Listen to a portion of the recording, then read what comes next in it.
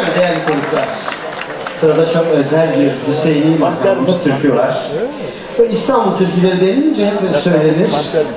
Menekşe kokulu yarım, kime arz edeyim halim. Efendim bu güzel türküyü Emelli Pastacı seslendiriyor. Hemen ardından koromuz çok güzel yine harika bir türküyle bu bölümü sonlandıracak. Emelli Pastacı zırhlarımıza.